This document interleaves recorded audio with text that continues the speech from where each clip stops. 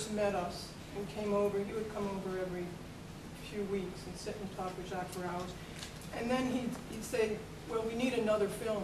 He- After the last film, he wasn't gonna do any more films, and he, he found out very soon that we need another film.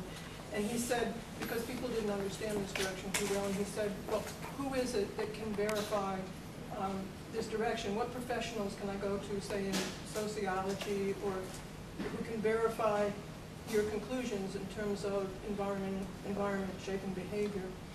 And, and there wasn't anybody, because that's not where the discipline is today. The discipline is to back up what this system is. This, this discipline's out there, and the way you go, to and what you go to school to be, all, and what you learn, all backs up to maintain this system as it is.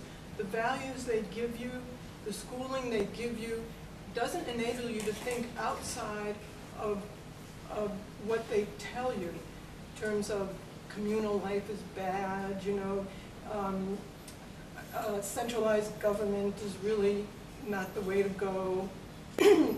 Watch out for communism, socialism, whatever.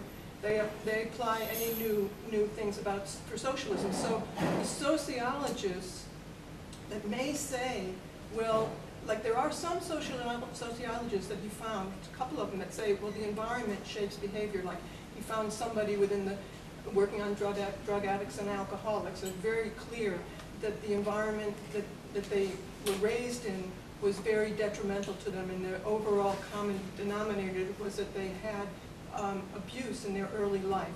But they don't extrapolate that out in terms of what's detrimental in the entire city, what's the cause of that.